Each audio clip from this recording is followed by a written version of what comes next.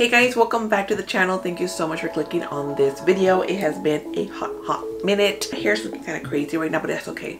I know why? I know why. I'm so excited. I'm officially in my crown era, y'all. Look at that. I finally went to the theater this month. Well, November and December. Wait, have I gone to December to the theater? I think I have. I, wait, anywho, we finally made it back to the theater, y'all. Ah. I know, right? Let's let's jump right in, all right? So per usual, if you guys are new, it works this way. We have our rewatches, we have our first time watches, and then we have what came out in the particular month. So in this case, November 2023 new releases. There will be timestamps if you would like to jump ahead. Now, first time watches, that could be anywhere from umptum years ago from the beginning of time of movies to even things that came out in 2023 that I just didn't watch when they first came out in that particular month but we finally are there. So first we have The Unbearable Weight of Massive Talent. If y'all been with me for a while, y'all already know freaking love this movie. This made it into my top movies last year because it came out last year. I rewatched it and I'm like, I still love it. I still love it. So we're going to go ahead and put it over here under favorite. Of course, we had to rewatch The Hunger Games. This is like the complete deal poster because I wasn't gonna like we're just including Hunger Games as a whole. I mean, I could have done them all separately, but I didn't want to do that. I'm not about that life. I mean, I could be about that life, but like, it's just not to be. I love these movies. I do. Every time I read a book and then I'm just like, look, you like Hunger Games? Check this book out. If you don't follow me on TikTok, that's kind of where I'm doing my book journey. Also, like pre-warn, I'm debating I meant to do it last year, but I didn't. And I really, really wanted to. And then this year, since I've read more books, I kind of wanted to do it this year. It's probably going to be one of my last uh, deals. But I kind of want to like just rank all the books that I read or listened to in this particular uh, year.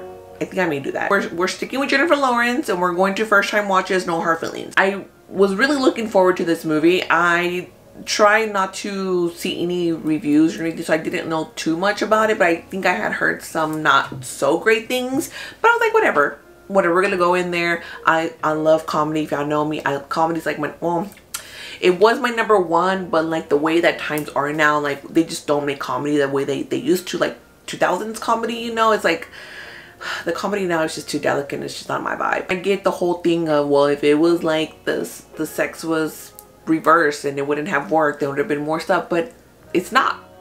It's not. So why why bring it up?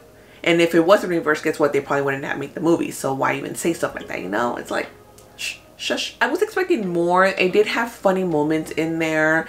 There is of course like raunchiness happening in there. There are some cringe moments but it's not fully what i was expecting. I was expecting it to be like wow like yes. I thought it was just like an okay movie. I was honestly expecting more and i was just waiting for the movie to finish. And then we have quiz lady another one that when i saw the trailers when it's on hulu i was like okay another one that yeah raunchy comedy that's gonna be my type of deal. It honestly i feel like the trailer just gave away all of the good funny parts. I went in there and i was just like mm. Awkwafina is kind of like hit and miss for me. I love me some Sandra Oh. Will Ferrell, just kind of like a hot take. I'm not the biggest Will Ferrell fan.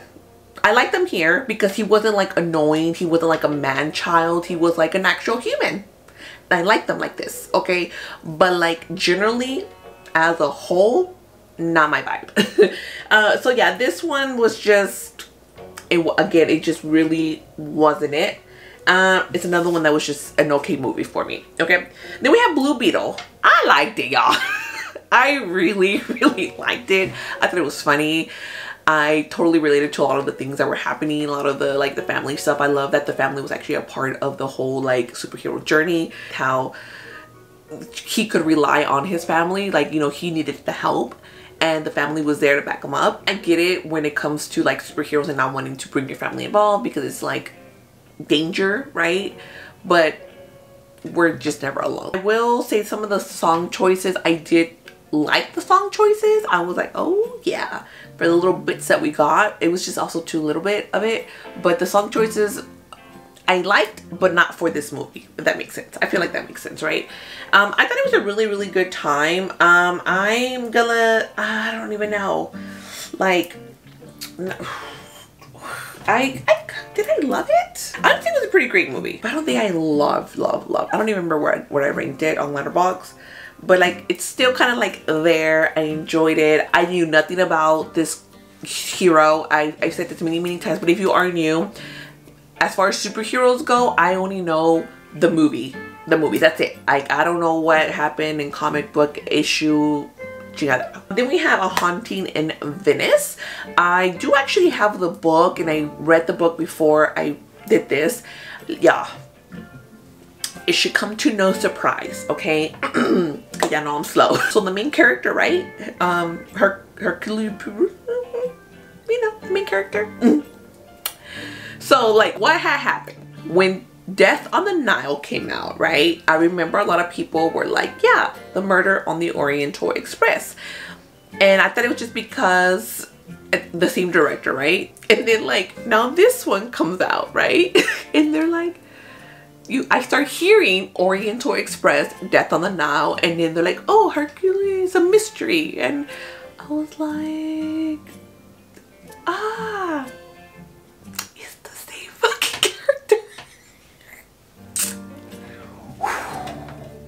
yeah yeah the thing was orient the murder on the oriental express that came out like i don't know when right I didn't like it. Death on the Nile, it's another one. I just wasn't totally here for it. I think I may have a review on that one. When I saw this one, like I remember, I kind of remember the character more. That's kind of why I was able to put two and two together because I remembered him from the Death on the Nile. And then I was like, oh, read the book. I'm not even gonna lie, I didn't like the book. It was boring. I read, I got it, I, I don't even remember how long, the book's not even that long, y'all. So I got, it, it was hard to get through it. I got through most of it, not through most of it, like, I don't even know. I don't even think I got halfway. No, I think I got halfway through it and then I was like, I'm done with this. I, it just, how does it end? Who killed, who killed the little girl? The movie is different because there was no little girl at a party that like they killed. Like she wasn't like, I saw a murder. It was different. And you know, she was like, yeah, I think I saw a murder. I don't know. She was like a lying little girl. And then it's like, I was waiting for that lady when they're like, she dropped the vase. That's from the book. And like, that's how she got water on her.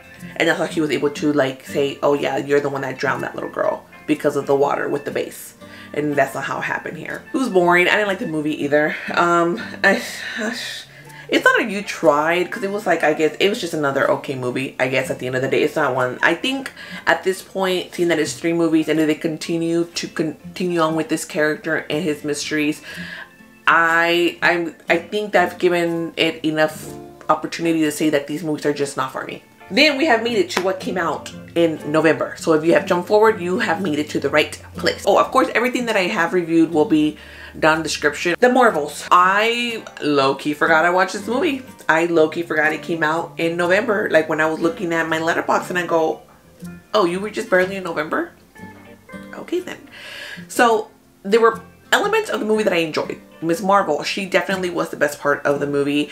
I don't know, like I don't have a problem with Brie Larson, but for some reason her as Captain Marvel, she's just not a really likable person. She's just kind of like high and mighty. But I don't have a problem with Brie. Like I like her in, in, a lot of other movies. I mean, she's not like one of my favorite actresses, but I do enjoy her work. I've never seen the Marvels. I don't I don't know like this movie kind of almost made me want to watch it but at the same time like not really. I have no intention of watching Secret Service Secret Mission I don't know. The way that Disney's making it now like where you have to watch everything which I get it like it's technically a smart move right? It's like we're gonna get you we're gonna get the audience to watch everything. Because if you want to understand these movies then you're gonna have to watch X, Y, and Z shows because like there's to be things off of X, Y, and Z incorporated in these movies. So then now when you're not completely lost because you're to know what's happening over here. But as an audience member, I don't like that you're trying to force me to watch X, Y, and Z when I only want to watch X, right? And then Y and Z, like I don't want to watch you. And X in my deal was, uh, what's it called? Uh, WandaVision. Villain here was atrocious. I'm gonna let you say it was also an okay, but it's gonna be at the very end of okay, like for sure. Then we have Radical. Radical is based off a true story. It is uh starring uh, Eugenio Derbez, which I just I love him. It is in Spanish with the English subtitles, and it's just such a beautiful movie. I absolutely adored it. I honestly thought I was gonna cry from just the trailer that I watched. I only watched it once, and I'm like, you give me vibes, but I'm gonna cry. Like I feel like I am. and I would prepare with my tissues, but I did not cry. Uh, but it's just a beautiful, like inspiring story about this uh, teacher who goes to literally asked to be transferred to this school which is one of like the lowest performing uh, schools in Mexico in this particular city of Mexico. And here comes Eugenio and he has a certain way of teaching a very radical way of teaching that of course doesn't fall within the curriculum of what they need to be teaching when they need to be teaching it. But he's all like no we're gonna have the students kind of learn in their own way learn what they want to learn and you're gonna be surprised just how far it's gonna go. And honestly this is all a concept that he, he saw on YouTube. I just absolutely loved it. I really really did. I highly highly recommend it. Dashing Through the Snow this is a Disney Plus movie I believe it is. It stars Ludacris y'all um, in this uh, very Christmassy family. I guess it's like the only Christmas movie I have right now, but there's more to come.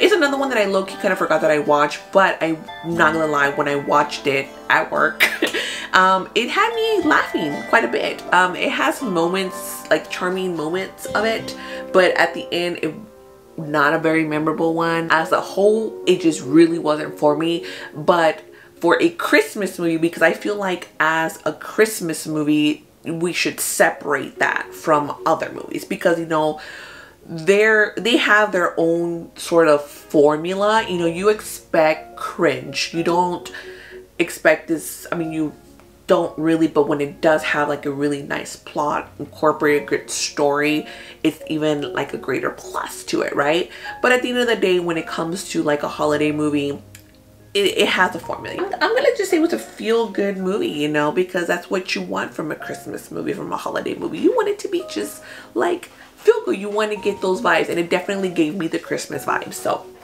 we have that. Then we have uh, Leo, which is Netflix, and this is an Adam Sandler movie. I saw the trailer, I was like, oh my god, this is gonna be so cute. And it was. It was a really, really cute movie. I thought it had a really nice message. He just kind of accidentally starts talking to the students. Yes, he's a talking iguana. Ends up finding out that oh, I only have like a year to live and I've literally always lived in this cage. I haven't seen the world. He wants to go out. So he's trying to be the most awesome pet so they can take him so he can kind of plot his escape.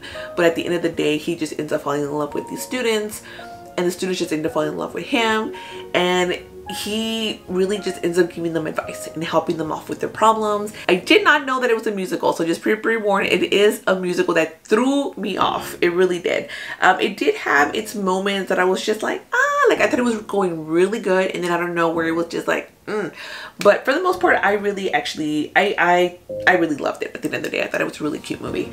Uh, finally, we have the Hunger Games uh, song, Ballad of Song and Snake whatever it is called, the prequel to the Hunger Games. There were things about it that I actually really, really loved. I really enjoyed it. I liked to see where the games originated from like we literally get to know where it started and the idea and the person who actually came up with this atrocious competition. Viola Davis, I absolutely adored her. I thought she was so cool. And then Hunter Schafer, which I love from Euphoria. One of the things that I have seen like the book to movie comparison was the the take on President Snow because I really wanted to that's one of the reasons why I really wanted to see the I mean read the book because I want to know his inner dialect right like who you who what are you really actually thinking? Because that's one thing that we we obviously don't see in the movie. There is this whole theory that Rachel Zegler's character here that that's President um Coin from District 13 I don't know. I don't I don't think it